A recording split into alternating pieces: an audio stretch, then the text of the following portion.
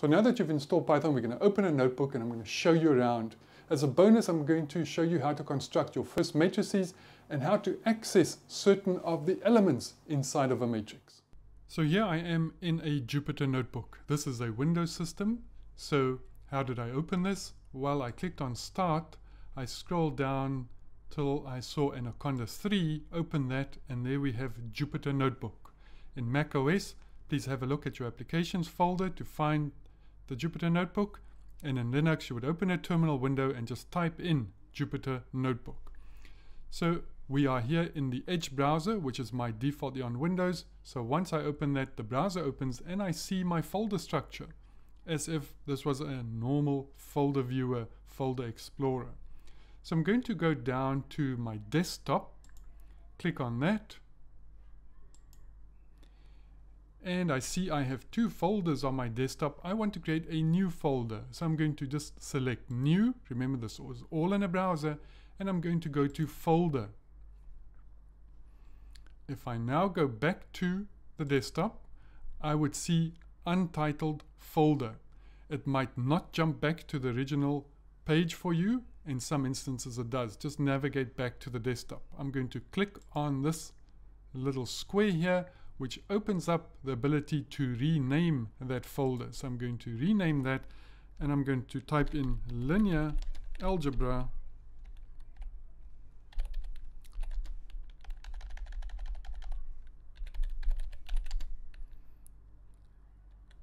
with SymPy, symbolic Python, linear algebra with SymPy and rename.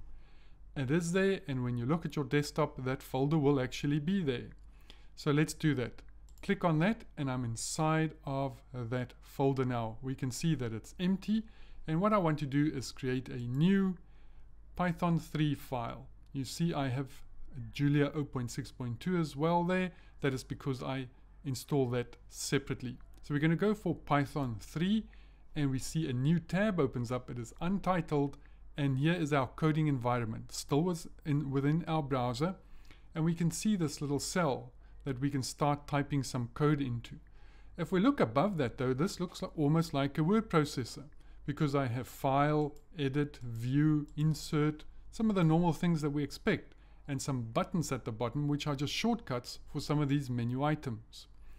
So if I click in that first cell, the most important thing to know is that there are different cell types. I can do different things inside of each of these cells and that is what makes this notebook so beautiful and so powerful. If you go up here to this drop down, you will note that you have code, markdown, raw NB convert and heading. So there are four different types of cells. Let's convert the cell to markdown.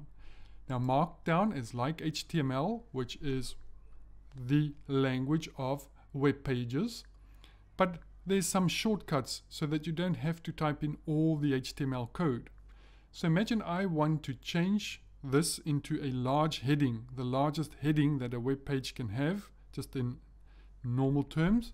I would use one hashtag, that's shift and three on my keyboard, and I'm just going to type in title. And I can run that cell by clicking on run or I can hold down shift and hit enter or shift and return. And we see that was executed and we see title written in H1 form. That's the largest HTML title tag, H1. Let's click on the second one. I also want to change this to markdown. And this one I want slightly smaller, but instead of doing 2, which will be slightly smaller, 3 even smaller, 4 even smaller, and you can go down to 6, Let's just use normal HTML in case you are familiar with that. So that will be heading 2. And I close my square bracket and I'm going to type in subtitle and close H2. If I now hold down shift and enter or shift and return, I see a, a, size 2 heading, H2. It's slightly smaller. So instead of two hashtags, I can just use normal HTML. The one thing I want to show you is a comment line. So let's leave this third cell as code, which is the default, and I'm going to put one hashtag. So this is not HTML or markup. Any kind of markdown, markup, HTML, nothing like that. This is actual Python code but it is a comment, li comment line. So I'm going to say this is a comment. And when I execute this shift and enter, shift and return, nothing happens. But I can see uh, in there, which I didn't see up there because this is a cell that contains actual code. But if you start a line of code with a hashtag, Python will ignore that line.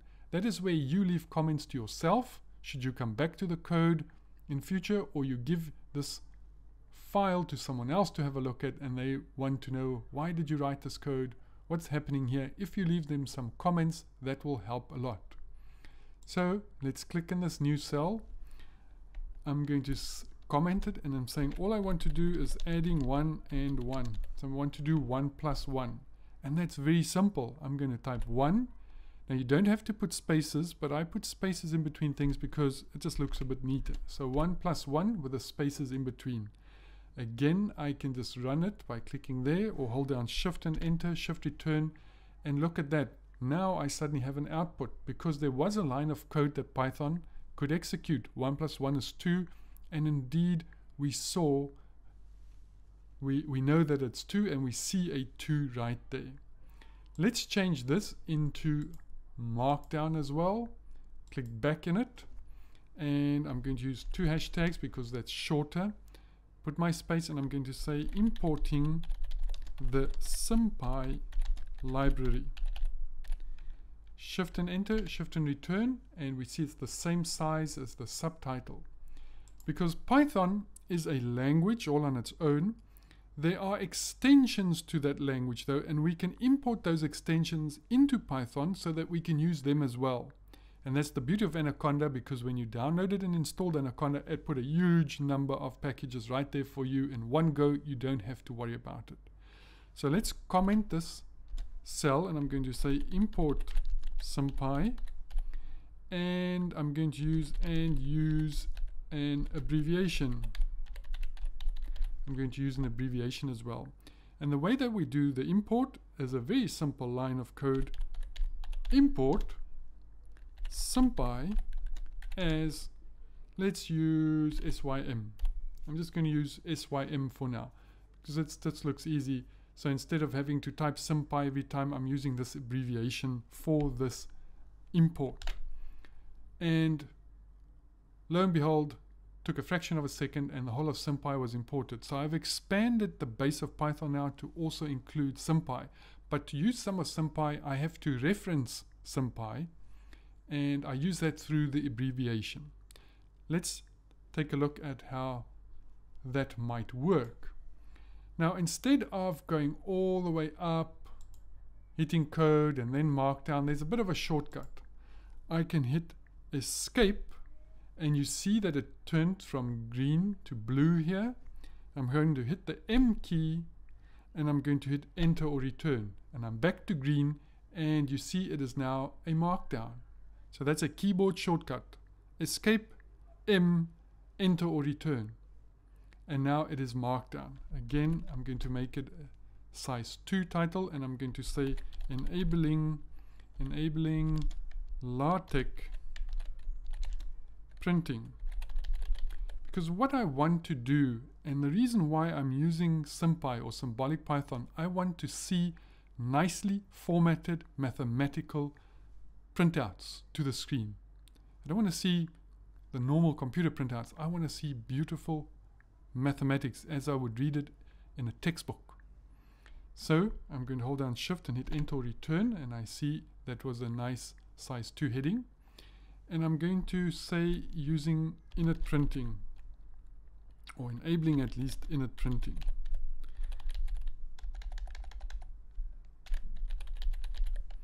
There we go.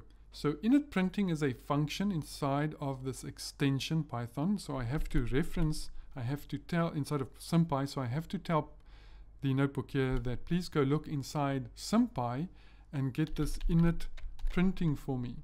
Init printing and I'm going to put these parentheses, shift and 9 on my keyboard. So init printing is this function that lives inside of SymPy. I have to reference SymPy and I'm using the SYM because that was the abbreviation. And I have to pass this function a few arguments. So that's how most computer languages work. I have a function and I have to tell that, I have to give that function a few things so that that function can actually do something useful. And those things that I give it are arguments and I pass these arguments to the function by typing them inside of, in the case of Python, these parentheses. If I hold down shift and hit tab, I can actually see a bit of the code of all of these possible arguments that I could pass come up as a little tooltip. So I can very quickly learn what arguments I can pass to a function by the fact that if I'm inside of these parentheses, I hit shift and tab. It brings all of them up. And we'll go through how these things are constructed. The one that I'm interesting, interested in at the moment is this use LaTeX. So I'm going to say use LaTeX. And I'm just going to start typing. And if I hit tab, I see this auto completion. So that's very useful that you don't have to type in anything. Always in Python, inside of the notebook here, type the first few letters and hit tab and it'll bring an option of all the possible things that start with those letters and you can select one of them and if there's just one well just hit tab and it'll auto complete for you there and inside of quotation marks I'm going to say mathjax and that would be a way for LaTeX printing to be enabled shift enter shift return and now I have some form of very nice printing to the screen. So for now, let's hit Escape M Enter, and that changes our next cell to Markdown. And I'm just going to leave a comment to myself. I'm going to leave, or, or let's write that. Let's write using the matrix function. So using the matrix function. There we go. Let me leave a comment to myself uh, let's say creating a 2 by 2 matrix. So how would I create a 2 by 2 matrix? Once again, I've got a reference SymPy and inside of SymPy there is this function called matrix with an uppercase M. Again, I've got to pass it some arguments. So I put my parentheses and each row of a matrix has to be put in separately and the whole thing has to go inside of square brackets. So I'm going to hit uh, my open square bracket, just as with all the other parentheses, quotation marks, some um, uh, Python at least will automatically put the closing square bracket there for you. So again, square bracket, because that would be my first row. And in my first row, I want 3 and 4. I'm going to hit right arrow to get out of that set of square brackets, comma, space, and then my new set of square brackets and let's make that 5 and 7. So note that there are two sets of square brackets inside of a larger set of square brackets. And these are all arguments, so they go inside of parentheses, uh, parentheses. And let's just hit shift and enter, shift and return. And look at that beautiful printing to the screen. This is what this LaTeX printing does by using this init printing function.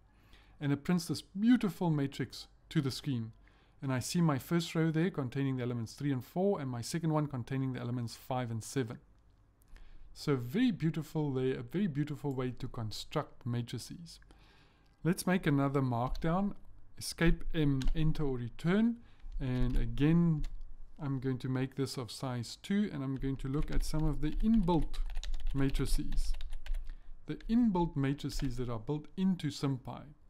Now the first one is the identity matrix. So I'm going to leave a little comment to myself, identity matrix. There we go.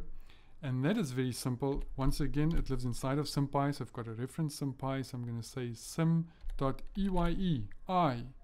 And then once again, if I do my little parentheses, I can do shift tab and it gives me this time not so many uh, helpful tips there. But what I do know is that it just wants the size of this. And remember, identity matrices are n by n. So I just have to put in the value of n.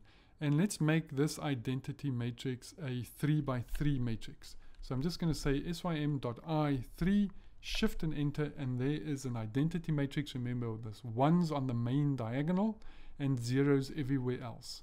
So that's a 3 by 3 identity matrix. Let's make a matrix of all zeros. So I'm going to say all say all zeros and let's make that also a 3 by 3 matrix. So that would be simple. It's sym dot zeros and once again I'm going to put in 3 and I have a matrix that is of size square matrix of size 3 by 3 and everything is zeros. Let's do all ones and let's make this a 4 by 4 matrix and I think you've guessed it by now so it's sym dot ones and with the argument 4 and I have a 4 by 4 square matrix and all the entries are just 1.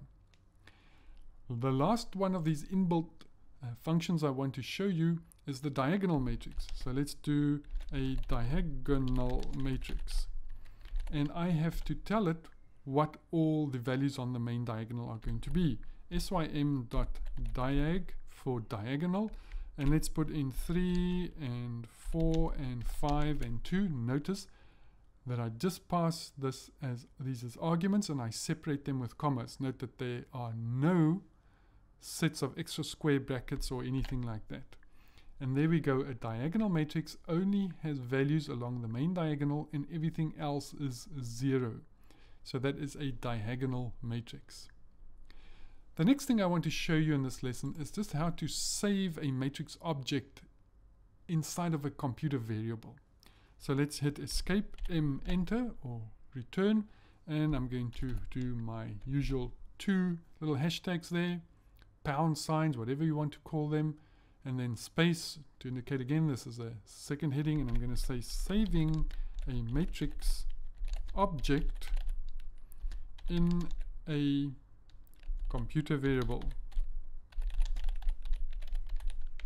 There we go. So what I want to do is I'm going to create a 4 by 4 matrix and I'm going to save them inside of a computer variable. So let's leave a little comment to ourselves. I'm going to say creating the computer variable A, I'm going to call it, that holds a 4 by 4 matrix. And I'm going to use another line of comment. I'm going to use a semicolon. I'm going to show you what that does. A semicolon suppresses screen output. It suppresses screen output. So I'm going to say A equals, and now I'm going to do my matrix, sym dot matrix, and I'm going to construct my 4 by 4 matrix. Now I've already typed it in here, so just to uh, save me from having to do all this typing, I'm going to copy and paste it in, and you have to type it in but just about saving a bit of time. So I see I have four columns and those are each of the rows and those rows go inside of their own little set of square brackets.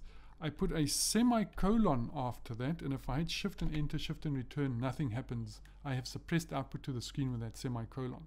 What have I done here though? I've created a matrix but instead of having to retype it every time I want to use it, I'm going to store it inside of what is called a computer variable. And that is just a bit of space in your computer's memory. It's given a name and it holds an object. And that object is of a certain type. And in our instance here, that type is a SymPy matrix.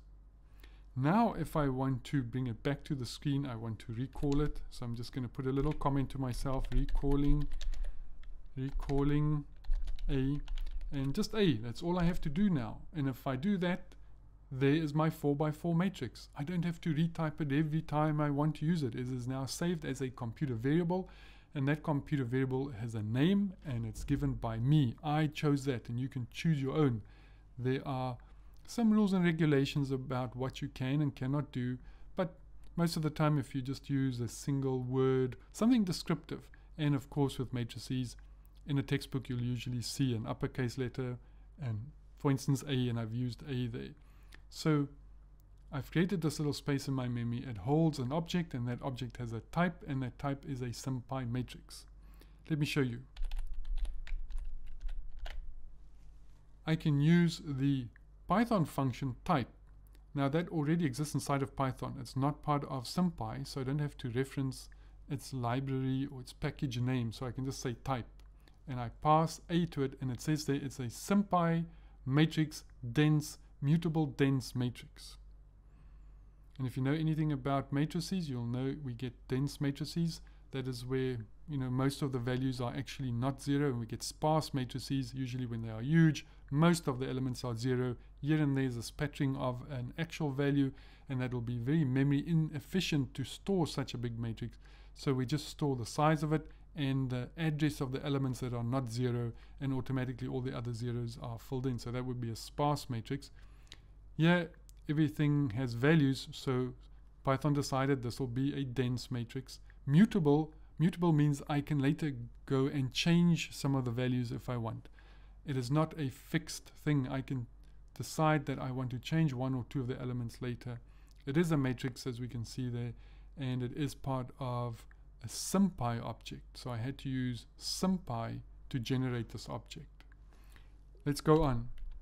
I'm going to say escape M enter and I want to do another title and I'm going to say accessing accessing elements of a matrix using addressing there we go and I want to get to certain values now this is only a 4 by 4 matrix but imagine it was huge and I just want to reference some of the values or range of some of the values. So I want to slice up, in other words, this matrix. And the reason why I want to bring this in into lesson one is we've got to understand and come to grips with the fact that Python starts counting at zero. So what we would see as row one, column one, Python is going to see as row zero and column zero, and that is something to get used to. So let's leave a little comment to ourselves, and we're going to say the element, the element in row 1 column 1 and that is a 1 so I'm going to reference it and the way to reference it is by not using parentheses but square brackets so I'm going to say a 0 comma 0 because 1 comma 1 row 1 column 1 for Python is actually row 0 column 0 so if I do that I see I get the value 1 back. So let's play with this a bit. Let's say the element the element in row 3 and column 2. So because Python starts counting and 0, I might as well say A, and what I want for row 3, that would be 3 minus 1, because it, it's actually 2, and 2 minus 1. So that is going to give me row 3, there's row 1, 2, 3, column 1, 2, there's the 6. So it's exactly the same as saying uh, 2 comma 1 because it started counting at 0. So please, please remember that. Let's carry on. Let's do the elements in row 1.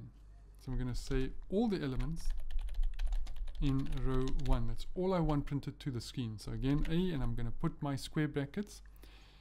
And I'm going to say row 1, because it's always a row, comma, column. So row 1 which is actually 0. And then all the columns, so column 0, 1, 2, and 3. Another little thing that's a bit awkward that you have to come become used to. I can't now say 0 to 3. 0 to 3 would mean 0, 1, 2, and 3. By putting this colon in between, that's a, a, nice way to compact your code so I don't have to say 0 and 1 and 2 and 3. I put this colon in between so it says 0 to 3. But what Python does in these instances, it leaves out the last value. So it'll actually only be 0, 1, and 2. And that's only three columns. I want all four columns. So unfortunately, I have to reference five columns here because it's 0, 1, 2, 3, 4. That means five. But there's only four columns. But as I said, this last four it's not counted, it, it, counts up to but not including the last value. So 0 colon 4 actually means 0, 1, 2, 3. Very awkward, but that's the way it is. And if I do that, I see all the elements in the first row. So all row, only row 0, which is actually row 1, and 0 to 3, which is actually written 0 to 4. So just a little bit of getting used to. Now there's an alternative shortcut. I'm going to say row 0 and instead of 0 to 4 because I might not know how many columns there are, I'm just going to use the shortcut which is just the colon. Just a colon all on its own. And to Python, at least here in SymPy, it means just do all of them, irrespective of how many there are. So I don't have to remember 0 to 27 if there are 28, uh, 27 I should say. So you don't have to go that, uh, you don't have to type in all of those. You can just use this little shortcut. Now let's have a look at what the following will do. I'm not going to leave a comment. I'm going to type it in and you're going to guess what is going to happen. I'm going to say 1 colon 4 comma 2 colon 4. So let's see what's going to happen here. It's going to be row, comma, column. So let's look at the rows, which is 1 column, colon 4. So it's going to start at 1, and it's not going to include that 4. So it's going to be 1, 2, and 3. But remember, that's not a row 1, 2, and 3. It starts counting at 0. And the same goes for 2 to 4 as far as the columns. That's 2 and 3 only, but that's not the real column 2 and 3. Let's have a look. So there we go. If we scroll back up and we look at where 213 is, there's 2, 1, 3, and then we have negative 2, 1, and 1. So negative 2, 1, and 1. So what it did for us was rows 2, 3, and 4, 2, 3, and 4 for columns 3 and 4. And you see that subtraction by 1 because it started counting at 0. So it is just something that you will have to become used to. Now what if I don't want a contiguous set of columns or rows? So I don't want 2, 3 and 4.